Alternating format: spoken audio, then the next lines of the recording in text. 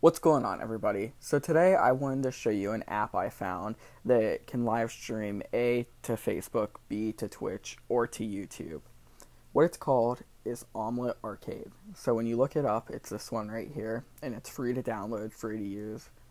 And whenever you open it up, it comes up with a sign in page or sign up page, either one. You'll want to create your account, and then after you create your account, right here on the home page, it just shows different channels and it shows them streaming.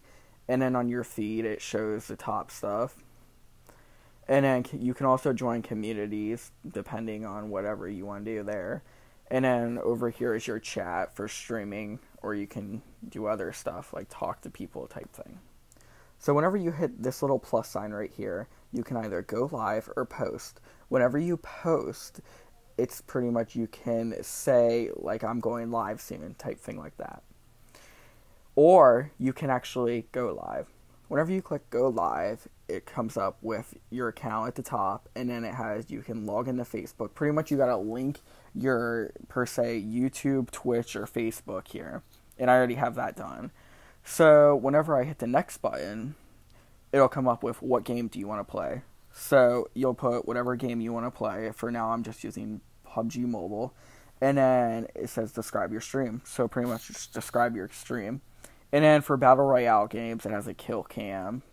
So I, it'll come up with videos whenever I kill someone. And then it also has the Let's Play, which for say I'm trying to play like a game with my subscribers or followers, I can put in what my username and stuff is, and whenever they join the stream, it'll come up with it. And it has quality and all this other stuff. So when we hit start streaming, it'll come up with this, and it'll say your username at the top, or your account, join the stream and then start your stream while in game for a better experience. So what it's meaning is is start your stream whenever you're in the app that you're trying to stream from. And how you stream, what you do is is you pull up here and you're going to want to have the screen recording app already there. And then you're going to want to push down on it. And then instead of clicking, what you're going to want to do is because it's going to say camera roll and then Facebook, you're going to want to scroll down to Omlet Arcade and then after that, you're going to want to select that and you're going to want to turn your microphone on so everyone can hear you whenever you talk throughout your games.